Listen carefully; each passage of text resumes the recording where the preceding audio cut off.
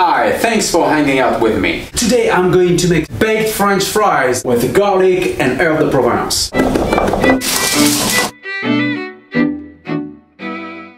Stick around.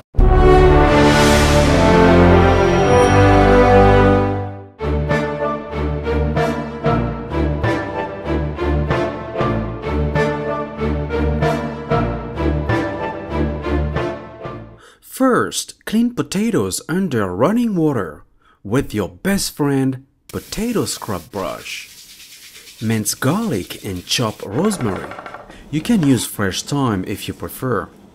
In a large bowl, combine chopped rosemary, herb de Provence, minced garlic, and olive oil.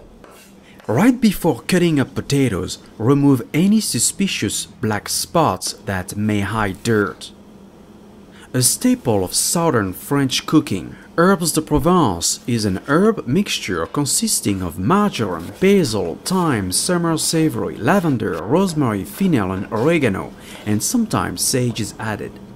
Line two cooking trays with foil. Toss wedges in herb mixture coating each potato. Divide them into two batches, otherwise they won't cook properly. Sprinkle salt and ground pepper. You have much more control by doing it right now. To give a colorful contrast, make one batch with smoked paprika or your favorite rub. Baked French fries will not be exactly like deep fried potato, but awfully good with less fat. Preheat oven to 425 degrees and bake 30 minutes or until golden brown. Gorgeous!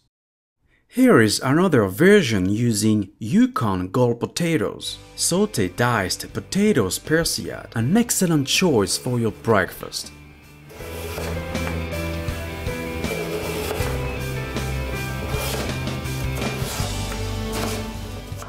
On medium-high flame, saute diced waxy potatoes with butter, olive oil, salt and pepper. When potatoes are golden brown and cooked through, add garlic and herbs.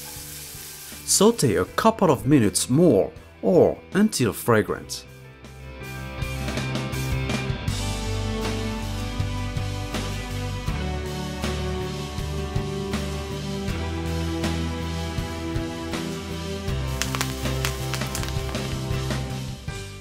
Enjoy it. Easy.